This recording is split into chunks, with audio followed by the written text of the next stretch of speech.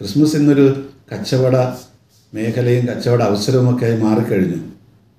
എത്രയോ ലക്ഷം കോടി രൂപയുടെ ബിസിനസ്സാണ് ഈ കാലഘട്ടത്തിൽ നടക്കുന്നത്. വേറെ ഒന്നും വേണ്ട നമ്മുടെ നക്ഷത്രങ്ങളും കേക്കുകളും മാത്രം എടുത്താൽ മതി. എത്രയോ ലക്ഷം കോടി രൂപയുടെ ബിസിനസ് ഈ ലോകത്തിൽ ഇതുമൂലം നടക്കുന്നുണ്ട്. അതുപോലെ മറ്റനേകം വസ്തുക്കളും. അപ്പോൾ അങ്ങനെ ഇതിനെ ഒരു കച്ചവട വസ്തു അല്ലെങ്കിൽ കച്ചവട അവസരമാക്കുന്നവർക്ക് അത് തീരുന്നതോടുകൂടി ആ സന്തോഷവും പോകും. നേരെ മറിച്ച് ക്രിസ്തുവിന്റെ മൂല്യങ്ങൾ ഉൾക്കൊണ്ട് പരസ്പരം പങ്കുവയ്ക്കുകയും ക്ഷമിക്കുകയും സ്നേഹിക്കുകയൊക്കെ ചെയ്യുന്ന ആ മൂല്യങ്ങൾ അത് ഉൾക്കൊള്ളുന്ന ഏവർക്കും ഈ സന്തോഷം തീർച്ചയായിട്ടും നിത്യമായിട്ട് ലഭിക്കും.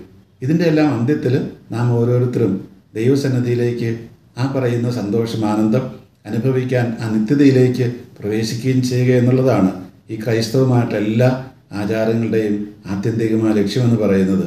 ക്രിസ്മസിന് ഇത്തരത്തിലുള്ള ഒരു ചിന്ത പ്രിയപ്പെട്ട പ്രേക്ഷകരുടെ മനസ്സിലുണ്ടാവട്ടെ. നിങ്ങൾക്കെല്ലാവർക്കും മാനന്തവാട് രൂപതയുടെ ക്രിസ്മസ് ആശംസകൾ ഏറ്റവും സ്നേഹത്തോടെ നേരുന്നു. ആ ക്രിസ്തുവിന്റെ മൂല്യങ്ങൾ ഉൾക്കൊണ്ട് ഈ ലോകത്തെ സ്നേഹത്തിന്റെയും സമാധാനത്തിന്റെയും പങ്കുവയ്ക്കലിന്റെയും പരസ്പരം ക്ഷമിക്കലിന്റെയും ഒക്കെ ഒരു ലോകമാക്കി നമുക്ക് മാറ്റാം.